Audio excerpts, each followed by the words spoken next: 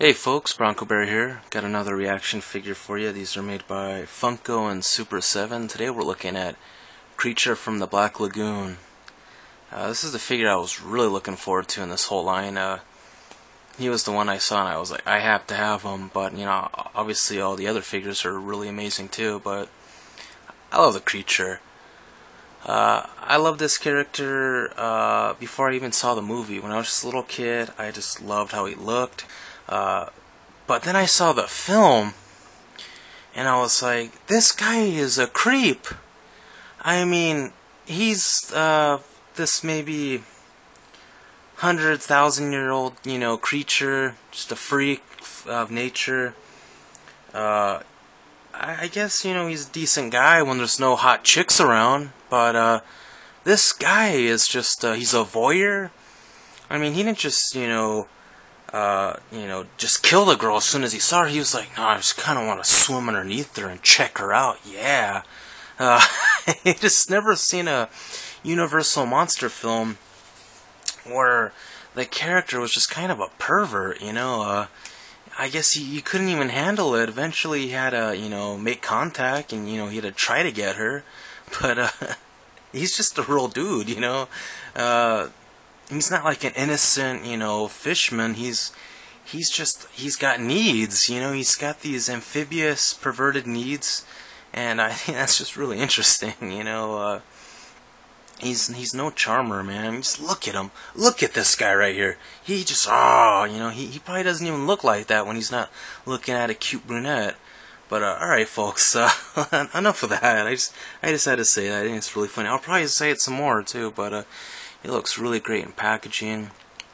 Uh, one thing I noticed later on is uh, that's him right there, uh, you know, swimming behind the Creature from the Black Lagoon logo. Uh, he's probably checking her out too, and that's him uh, checking her out again. Uh, there's kind of a scratch right here on my uh, card, but alright, the back, as you guys have seen before, it just shows the other characters that come in this series one. Uh, relive the exciting action of Universal Monsters with authentically detailed reaction figures. Funko and Super 7, love you guys. But, uh, alright, uh, let, us open this creepo. Uh, alright. Man, I hate opening these sometimes because I feel like it'll just never look as pretty as it did before. Keep on saying, oh, I have other ones that I'll buy, and, you know, those will stay on card, but, uh, who am I kidding? Oh man, this is really crappy. I hate when I when this happens. I just wish the card would come off. Oh man, jeez, look at that, folks. Jeez, hate when this happens. Whatever. But this guy in the background. Jeez, creature. Just because I'm not a chick, you're giving me a hard time. All right. Whoa, he feels different than the other dudes oh man, instantly I feel he's he's kind of he's very scaly, but he's kind of sharp. You know, he's feels serrated, and he's I don't know. He feels a little light, like a little bit lighter than the other guys, but uh, just feels like he's made out of a different kind of plastic. But it feels cool. It feels unique. You know, uh, I got the other dudes right here. I got uh, got the you know Wolfman and uh, Frankenstein, and uh, you know they feel very smooth glossy and you know a little a little bit matted. This guy just feels kind of, you know, uh, he feels kind of hollow actually. I don't know why. Uh, it just he's got so much texture. Maybe that's what's happening right now. He's just he's just got so much texture. Just look at the sculpt though, man. They really went to town. They could have made him smooth and it would have been decent. But uh, they just, you know, sculpted all of this. His fins and this little stomach thing happening there. I don't really I don't really know what's going on there, but uh, this figure looks amazing. I don't know if there's too much happening in the background for the camera to handle.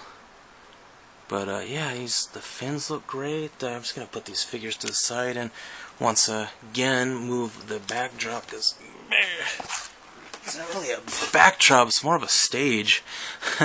but uh, all right, I think you'll have a better time uh, focusing like it usually does. But man, look at this.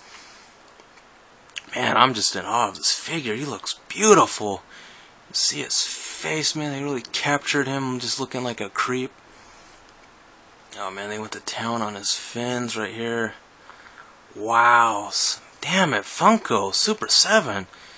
You really nailed this sucker, man. He's got these fins galore.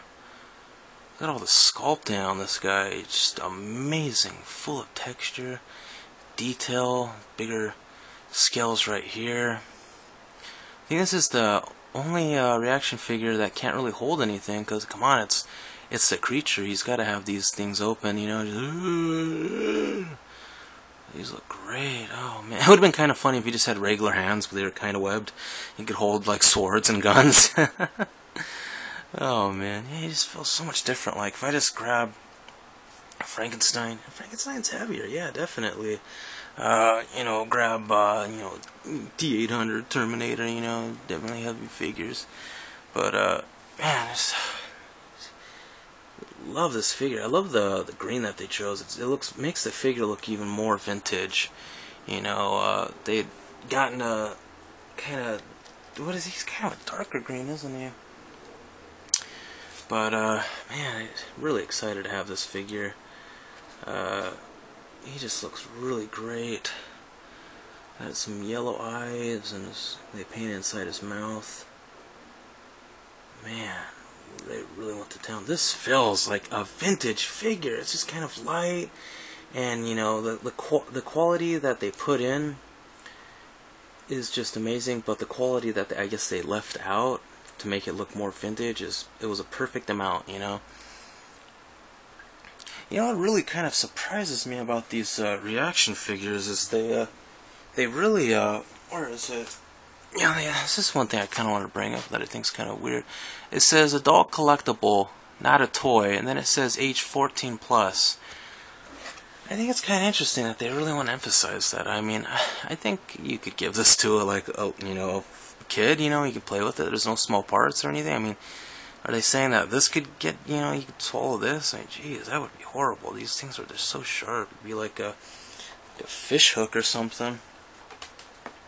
Well, you know, whatever. I, I guess, you know, the majority of the people are going to be buying these are, you know, adult collectors and whatnot. But, uh, oh man, this, this figure really great. These little sharps, though, that's the weird part. But, uh, I, you know, I'm just going to continue saying the same stuff. Great figure. Uh, probably my favorite so far. I really do like that Frankenstein. Ah, I quite ah getting all tongue tied just because I'm a little, uh, a little overwhelmed by how cool this guy is. Uh, all right, buddy. Uh, it's a little Gil Hill right here. You know, he's just kind of a kind of a creep, but uh, hey, we all love him, right? Uh, I was happy to get this for 10 when I went to uh, Son of Monsterpalooza. The guy wanted 15. He says that this guy's going to be the most popular figure out of this whole Funko Universal Monsters line. Now, do you guys agree with that? I I don't know. I don't really agree. Uh, I think Gil is a real popular dude, but I don't know if maybe Frankenstein will be, maybe uh, Invisible Man will be more uh, desired. Uh, there's also uh, uh, glow in the dark version of this guy. He was probably like a San Diego Con 2014 exclusive. But uh, alright folks, uh, just keep on going on and on. Love the figure. Hope you guys enjoyed the review. This guy is so great. Uh, and his articulation, you know, standard for all the other figures, but he's he feels kind of there's just nothing at all stiff about them. And I think that's great. But uh, alright folks, uh, have a good one.